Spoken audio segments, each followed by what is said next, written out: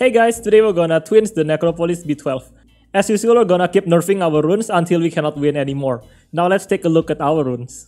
First, we have Igar, who's not even skilled up. Now he's on my city runes, hence the city stats. The twins, however, are on my best violent set. After all, I use the twins almost in every way, so I give them my best set. The Raoq also quite pay to win as you can see, and the Colin not so pay to win, cause this is your typical support at this stage, you should be able to get that. Now, Necropolis is where the twins really shine because they have a lot of multiple hits. Also, Raoq multiple hits with the team up, and Igar multiple hits with the first skill and second skill, which is very nice. Colin multiple hits with the second and first skill. Now, this is actually the hardest stage of the uh, dungeon. You would wanna kill the Lich before the Lich kills you, except sometimes the Lich resists everything that you give him. And this is where you need the attack break from the Colin and the Igar. If not, then the Lich might kill someone with the second skill randomness.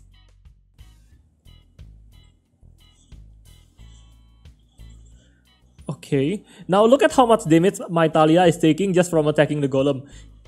She is the most edgy out of the twins. She likes to hurt herself. That's why you need Colin and the fam from the fire, not the fire, the dark vampire, to fam her back up. Okay, at the boss stage, uh, if you wanna have a fast clear time, you would wanna kill the boss after the boss at least attack you two times. Don't let him attack you three times, cause he's gonna imprison any of your unit. If you're lucky, you could put defense break on the boss and kill him fast. If not, then just go for the imprison soul. Don't go after the boss. Cause the boss stat is really high at this stage. Okay, can we kill the boss before he imprisons somebody? We cannot. Okay, after this run, we're going to substitute Colin with uh, Shaina. We're going to use triple twins, and then you guys are gonna see the difference. It is faster, but more risky. Whereas with Colin, yeah, you may get imprisoned once, but hey, the clear time is still nice. Let's try Shaina instead of Colin and then we're gonna start nerfing our runes after that.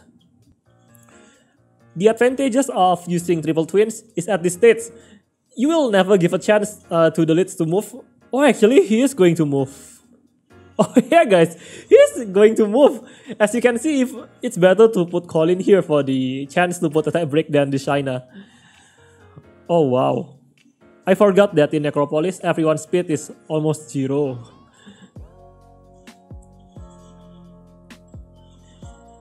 And that's why I believe that Colin is a better option than Triple Twins or the Shaina.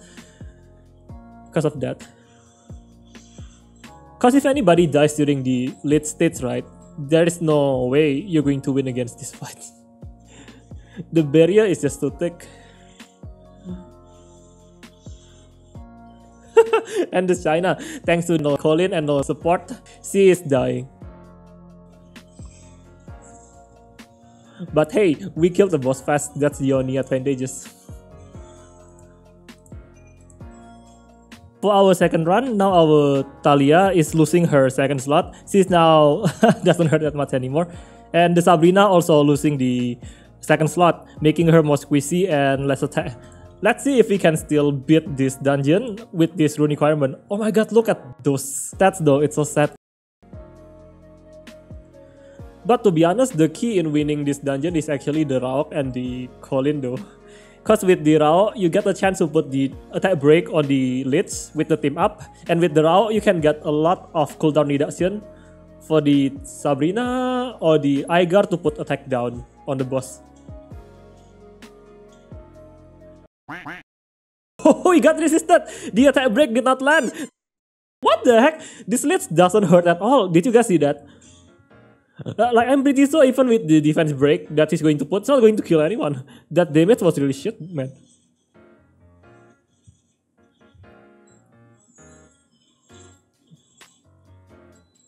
Now there is no way we can kill the boss before the imprison is going to come into play. not with the city attack on our twins. Why do we do this ourselves? because I removed the uh, attack slot, I think it has some accuracy on the rune. And that is why my Sabrina and Ditalia is not landing their stuffs.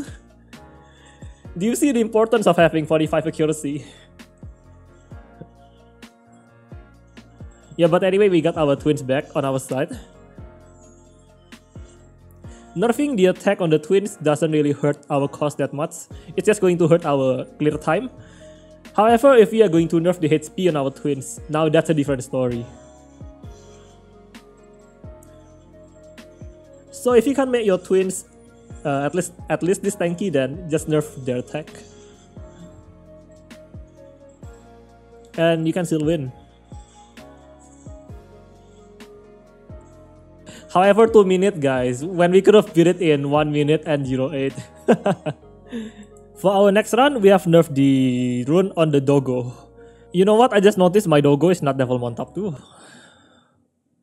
The twins also no slots here, the vampire no slots here, Colin no slots. So basically everybody is losing one slot. Let's go. Now the reason I nerf my monster, uh, the runes, is so that it's not going to as pay to win, right? And I also wanna show that there's a leeway, or at least uh, mercy from come to us to actually not have such perfect runes. But if you can achieve the rune, then why not, right? After all, this is the last stage, the hardest stage of the dungeon PvE that the game is gonna throw at you.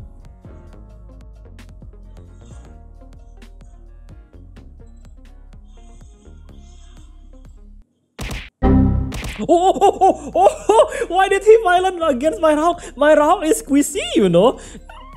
Especially after, oh, look at that HP! Mm. And this is where we draw the line, guys. No more nerfing the rock.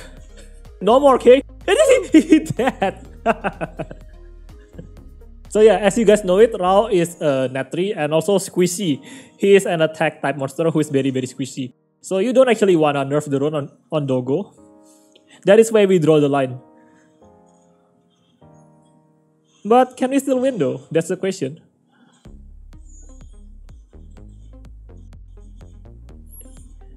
If we wanna win, we need at least one defense break. Come on, somebody violent fucking put a defense break already!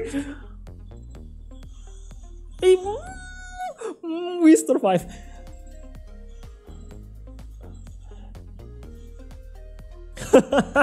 Seriously though, it's cause we nerf the accuracy on the twins. They cannot put defense break. But it's not over till it's over. Everything got resisted because we have no accuracy.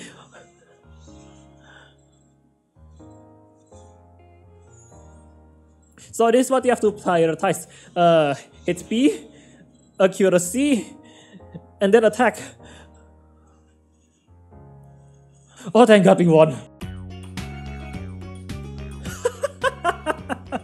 no, it took us way too long to kill the boss. That this thing, guys, it actually came back up. So this is where we draw the line. No, do not nerf the Raoq. Alright then, let's conclude the rune requirement. We need to twins the Necropolis B12. So for the Italia, you need only around this attack. Maybe you don't need this much HP if you can kill a boss fast. But if you're going for 67 uh, crit rate only, then you would wanna use her leader skill instead of the Igar. But look at how much better the leader skill of the Igar is. 38 attack, that's huge. As for the Igar, these are the rune requirement. Look how squeezy he is. And the Colin, turns out he doesn't have to be that tanky. And the speed on the Colin actually doesn't really matter as long as he goes first, right, for the Necropolis. And this is the stat requirement for the Italia.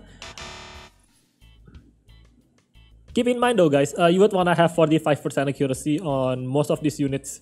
Cause as you can see, it was not as smooth as it was when we have a lot of accuracy.